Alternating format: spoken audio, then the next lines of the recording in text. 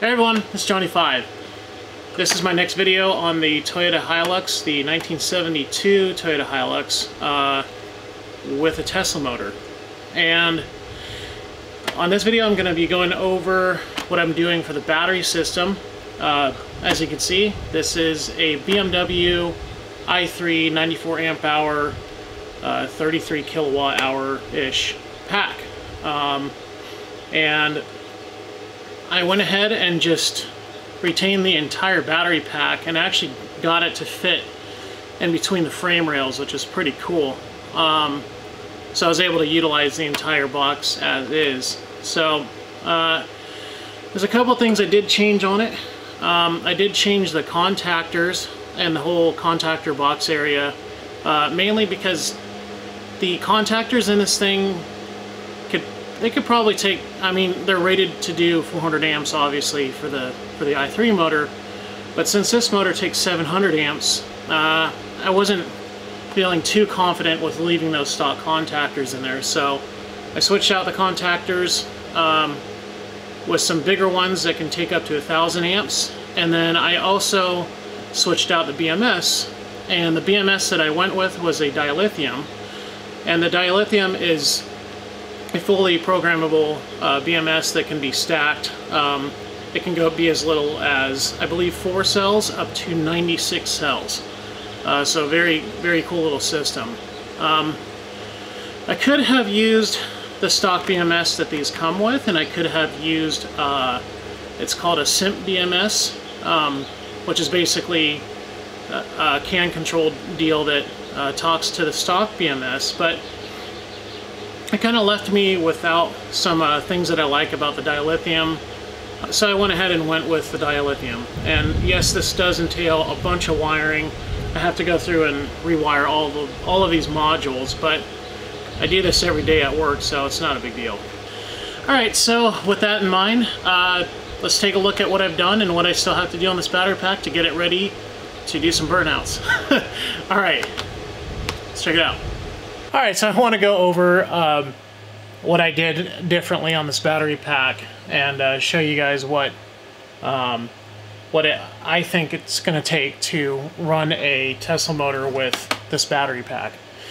So basically, I started off with uh, switching the contactors, and what I did was I used some GV200 MAs from uh, from our shop, EV West, and basically these are two uh, contactors that are economized, internally economized. And what that means is the contactor itself has a little uh, a little chip in it, a little uh, processor deal, to where it'll latch the contactor at whatever amperage it needs to latch, and then after that it'll back the amperage down on the contactor uh, coil to uh, minimize heat and uh, just energy loss while the contactors latch. So basically, it's a way that it saves itself and it uh, prolongs the life on the contactor itself.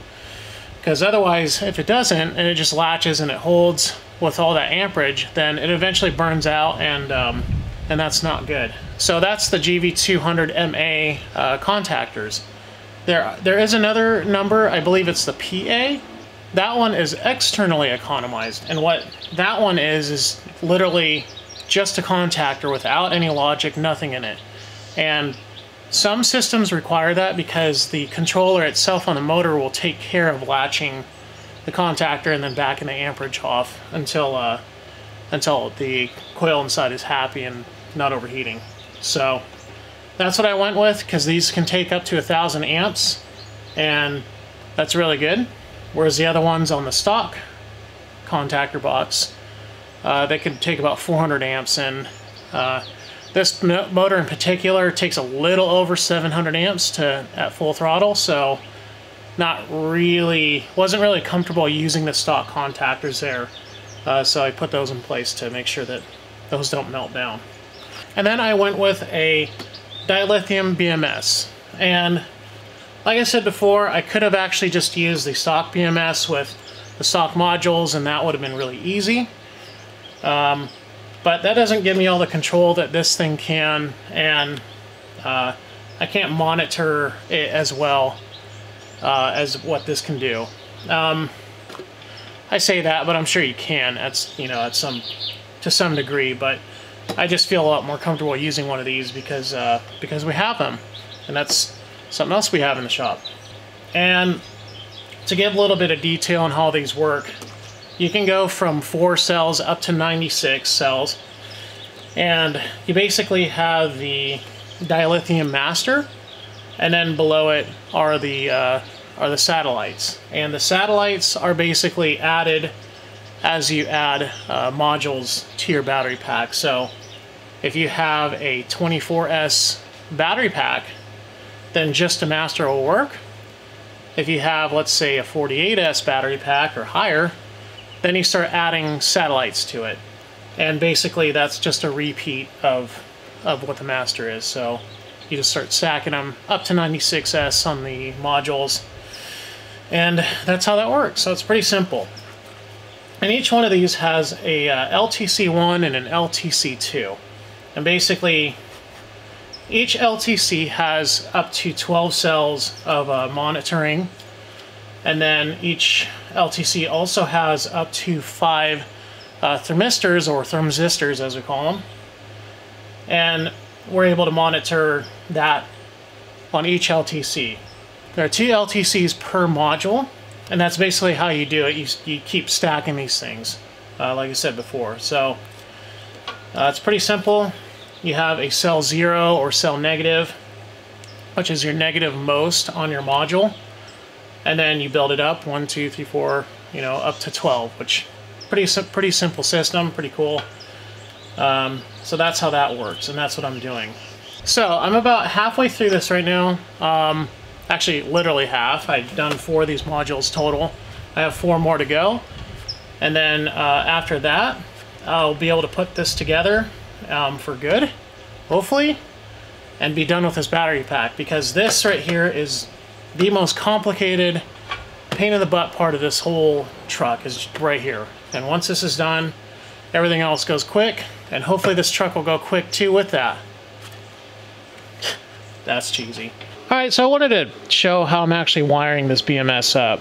Uh, basically, I'm going from module to module, and I'm doing a uh, 12S harness, and I actually got kind of lucky here because each one of these modules is exactly 12 cells, and each one of the LTCs on the BMS is also uh, set up for 12 cells. So uh, in this case, I'm basically wiring each LTC to each module and that's uh, including the thermistors. And so all I'm doing is I'm cutting the old plug off of the of the uh, module here, and I'm directly wiring the harness into the module. And basically, what I have here in my hand, the BMS harness tester, and basically it is exactly what it says. And what you do is you take your voltmeter, and as you're putting this together and wiring this all up, uh, each cell that I wire into the BMS, I check it. And basically, what you do is you go from cell 0, which is the negative most on the battery, and you go to cell 1. So you do your negative on your, uh, on your voltmeter, and then you go to cell 1 with your positive, and that basically will read out the voltage on the first cell. And that should be uh, roughly 3.7 volts. That's a nominal voltage for lithium. Uh, yours could be a little higher, could be a little lower. Uh, depends on, you know, where your battery's sitting at. So anyway, cell 0 to cell 1, it's going to be 3.7 volts, let's say. And then when you wire, as you're wiring it up, you should see that an even increase on each cell. So, you know, 3.7, 7.4, 11, 11, so on and so forth. And basically, the way that I do it is I go from cell 0 to cell 1, or cell negative most to cell 1, and I make sure that it's 3.7 volts.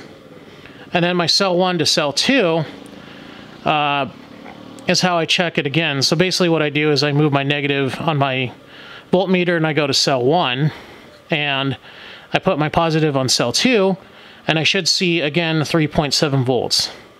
And then I put my negative on cell 2, my positive on cell 3. Once again, I should see 3.7 volts, and so on and so forth as I go up. That's a really easy way to do it, to be able to make sure that you're actually grabbing the right uh, cell taps and making sure that you're actually uh, not building up any odd voltages or anything. And then, of course, if you leave your voltmeter negative on cell zero and you just use your positive and go up of this, uh, it's going to be, you know, evenly uh, increasing in voltage. So that's basically it. That's this is the most complicated part is this uh, getting these cell taps all wired up. And then the thermistors are pretty easy. I don't know if you can see them here. Those, those are the, the yellow wires there. Those, you just grab the two wires that go to the thermistor, or thermistor, whatever you want to call it. Um, you grab those two wires, and on the LTC, there are a thermistor 1, thermistor 2, and basically it goes top, bottom, thermistor 1, top, bottom, thermistor 2, and so on and so forth. Uh, if you wire one of those wrong, don't worry, nothing's going to blow up, as far as I understand. um, it's just, it's all it's doing is checking resistance, so that's, you'll be okay there. But importantly, make sure you get that right. As long as that's right, then you're good to go. So over here, really the big rule of thumb on this these things is make sure that your entire battery is wired together as far as your uh, your main cabling, the series on the uh, modules. Make sure that you do that first before plugging any of these things in. Um, and you want to do that because if you have a module that has an odd amount of cells going into an LTC and you have like, let's say, uh, you have eight wires coming off of one module and you have uh, four more coming off the next module. If you were to plug that in and you didn't do your main series uh, on your modules themselves, then you're going to smoke one of these things. So again, in my case, I'm pretty lucky. I have a module per uh, LTC, and that makes it really easy so I, I actually can't hurt the thing because I don't have a negative jumping to the next module uh, outside of the uh, series here. So just keep that in mind when you put these together. Just a nice rule of thumb is just make sure that all your modules are uh, put together and wired uh, as far as the big cabling goes before you connect these things. And that's it. It's pretty straightforward and uh, easy to do. So basically there's a bunch of uh, inputs and outputs on this master and of course uh, your 12 volts to the uh, BMS itself. And you have a couple of other things here. And all there's really not a whole lot going on here. You have your serial port here which you can pretty much barely see. And you plug in uh, there's an eighth inch serial jack that plugs into there and then it goes to a USB and that's basically how you read this thing is through that. And uh, we like to use uh, a program called PuTTY to be able to see and uh, program these things. And so what you have is your, your ground, your 12 volts positive. That's how you turn it on. And then you have your loop one and your loop two, and that's basically just a little relay in there that uh, latches as as long as the BMS is happy with all the cell temps and all the cell taps. Uh, you know, the voltages are within uh, certain parameters and actually you set all that stuff. But anyway, if the BMS is happy, it'll latch that. And basically what we use loop one and loop two for is to uh, enable a charger to start charging. So, and if the BMS is upset about something, it'll break that loop. And uh, whatever you got connected to, it's going to shut off. And so if you're charging and the BMS is not happy about a cell being low or uh, thermistor's too hot or something, it's going to go ahead and break that loop.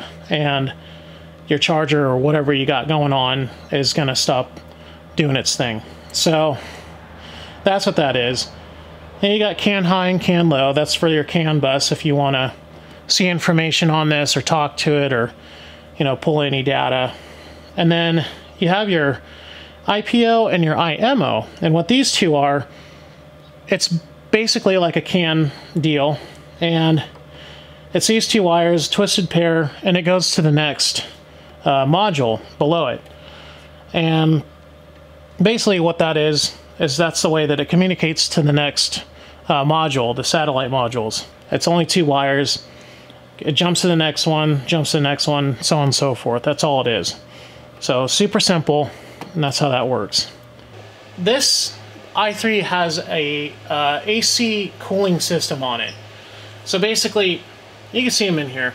There's basically a bunch of lines going back and forth on this, uh, more like a more like plates. And basically, there's AC um, Freon going through this to chill the battery pack. And I think they mainly use that for uh, DC fast charging because these things can do that. And also probably when you're hammering on the car really hard, or if it's just a hot day like today.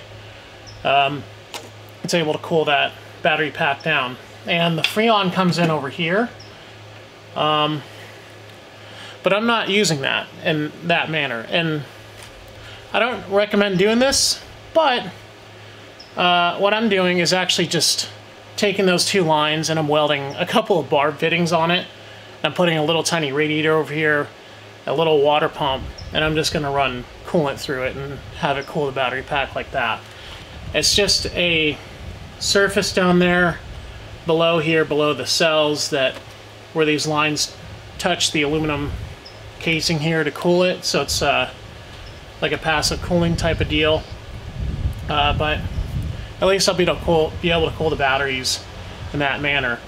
And I have 64 thermistors in this whole thing.